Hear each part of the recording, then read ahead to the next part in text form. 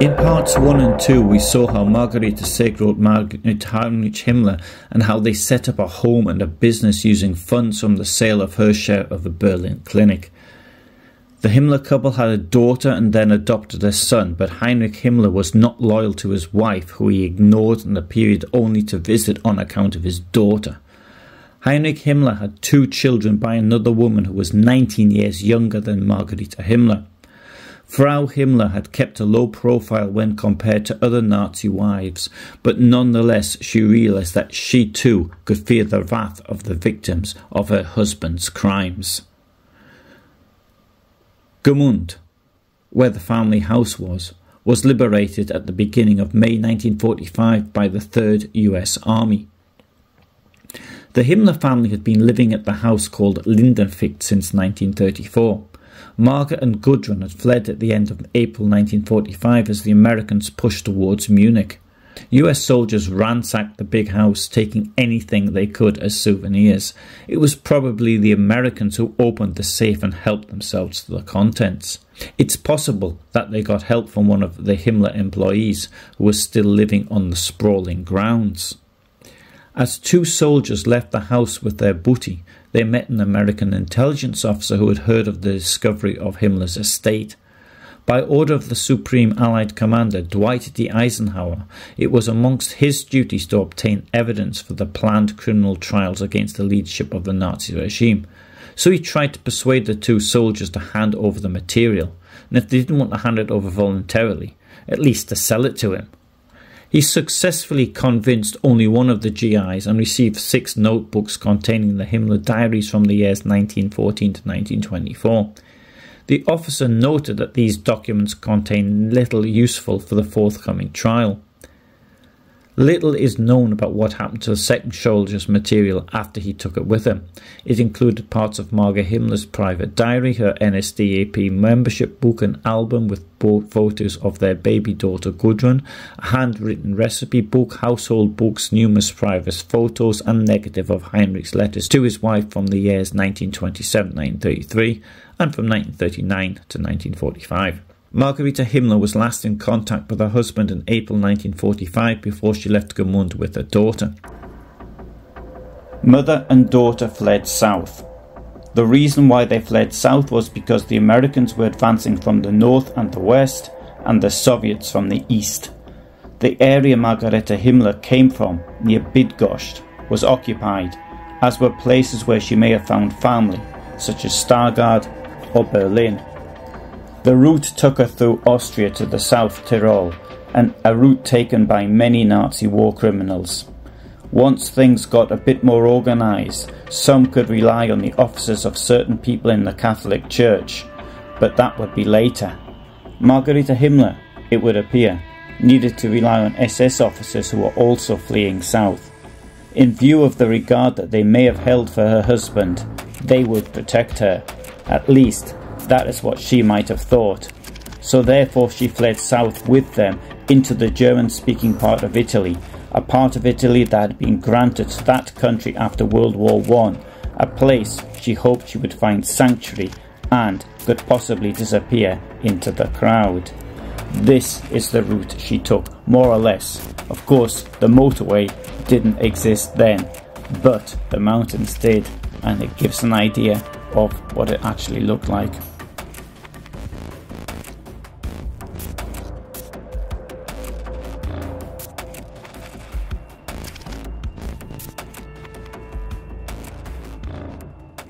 Accompanied by SS men, she and her daughter reached South Tyrol, where they both went into hiding in Bolzano. After the US Army liberated Bolzano in May 1945, captured SS men showed their loyalty to Himmler and the SS by revealing where Himmler's wife was hiding. On the 13th of May 1945, Margareta Himmler was arrested with her daughter. She was initially interned in Italy and then in France. She was questioned.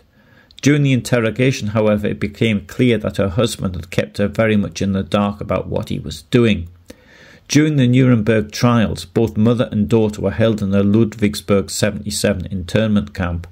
Since they were not accused and their allies had no further use for them, mother and daughter were released from internment in November 1946. They were both initially accommodated in the Bodelschwingh Foundation Bethel in Bielefeld.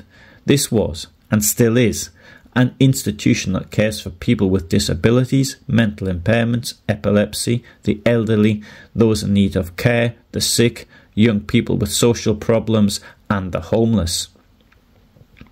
Here, at this charitable institution, mother and daughter fill their days by weaving and spinning. The Himmlers' board and lodging were partially financed through donations received by the foundation, so that they had enough to keep them alive in modest comfort although of course worlds apart from the luxury that they had enjoyed during the Third Reich. The Foundation saw it in their remit to assist the needy. However, it would seem that Margareta Himmler did not show any gratefulness at all. Years later, in April 1962, in response to critical questions regarding Margareta Himmler's accommodation in the Bodelschwingh institution for around nine years, the institution's director, Friedrich von Bodelschwingh, said, It's very unfortunate that Margarita Himmler, during the time she stayed with us, remained in absolute delusion until she left us without thanks and went off with her brown cronies who have now gotten back on their feet.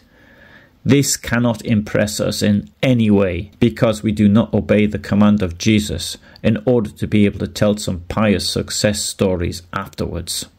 The Bodelschwingh Foundation had come under criticism.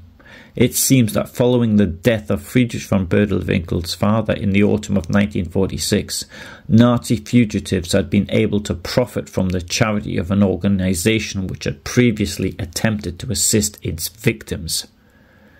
The stay of the Himmlers with the foundation added to this controversy. There were allegations that mother and daughter were continuing to live a life of luxury at the foundation.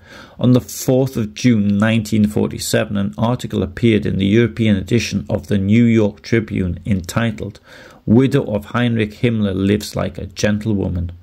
The presence of Margareta Himmler was difficult for other guests of the institution, not only was she the former wife of the now openly hated Reichsfuhrer, but she continued to have the same bossy and domineering manner that she'd always had. Only now people were not jumping to satisfy her every wish, which, I suspect, could have made her even more aggressive. Margareta Himmler was initially denazified in Bielefeld in 1948 as a Category 3 offender. In 1950, she challenged this classification through a lawyer because her early Nazi Party membership was only nominal. Her high rank in the German Red Cross resulted from her membership since 1914, and she herself had not been in the spotlight as the wife of the Reichsfuhrer SS, as had, for example, some other Nazi wives. Nevertheless, the denazification committee in Detmold did not revise her classification because she represented the goals of the National Socialist German Workers' Party and had approved of her husband's actions. Her lawyer then insisted in the following appeal process that she could not be held responsible for her husband's actions. On the 19th of March 1951, she was finally classified as a follower, Category 4. The verdict acknowledged that she was not responsible for her husband's crimes, but she had not distanced herself from them either. In addition, she had benefited from her husband's position in the Third Reich and the wealth that it brought. Since this denazification process, which began in the British occupation zone, was not recognised by the Bavarian Prime Minister Hans Ehard, another denazification process was started out due to the unresolved question of ownership of her house in Gmund. Finally, on the 15th of January 1953 in Munich, she was classified as a beneficiary of the Nazi regime and thus Category 2 and, among other things, sentenced to 30 days of community service, the loss of pension rights, and the right to vote was withdrawn. Her daughter left the institution and went to live in Munich in 1952. In the summer of 1954, Margareta Himmler moved out of the Bodelschwingh institution and took a private room in Bethel. From autumn 1955, she lived with her sister Lydia in Heepen. There, they were joined by her adopted son, Gerhard. Towards the end of the war, he had enlisted with the Waffen SS, aged only 16. He was taken prisoner by the Red Army and remained in Soviet captivity until October 1955. Now aged 27, he returned to Germany and his stepmother picked him up from the Friedland camp. I think he was in the same batch of returnees as Karl Heinz Pintsch, who had been the adjutant of Rudolf Hess, and there's a link to the video I did on his life below. By the way, I need to point out that's only what I think, I can't prove that. Initially, he lived in their apartment as a late returnee, a classification reserved for those people who had either been detained as prisoners of war or came from areas now under Soviet occupation. This classification carried with it certain benefits when it came to seeking employment, amongst other advantages. In the spring of 1956, he moved to the eastern Lübeck district of Kücknitz, became a driver, and married Anne Marie von der Ache. He worked for the local newspaper, the Lübecker Nachrichten. He remained in contact with his stepmother until the end of her life. His wife, Anne Marie, died towards the end of the 1990s. He died in a nursing home in Solmützstrasse in Lübeck-Kücknitz in December 2010. Margarita Himmler faded away from public attention as she got older. She spent her twilight years with a daughter in Munich.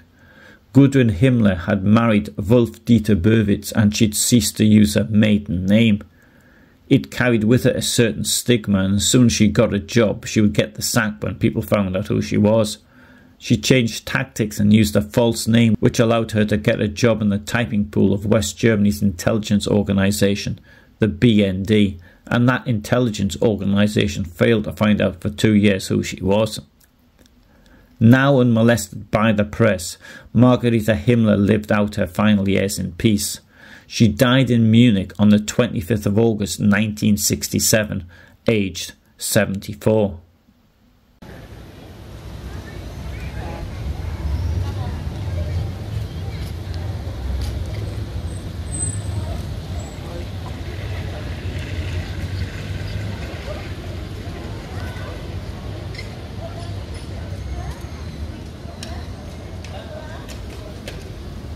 Now let's return to Bydgoszcz in Poland where this story began. The main square in the city is dominated by the statues and monuments of those killed by the SS and the SS auxiliaries under the command of her husband. As a child, going to school here, she would have known this square well. Could she then have foreseen the death, destruction and suffering that her family would bring not only to this city, but to all of Europe.